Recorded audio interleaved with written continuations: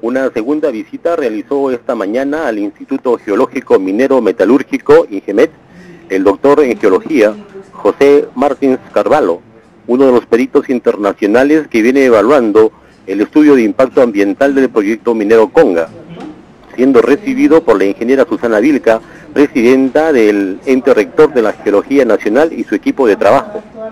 En esta segunda visita recibió información complementaria sobre geología e hidrogeología de la región Cajamarca,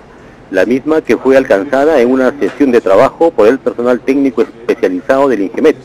que en los últimos años ha realizado estudios en más de 17 cuencas con vertientes al Océano Pacífico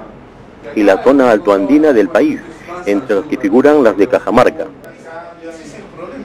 Los estudios e investigaciones que realiza INGEMET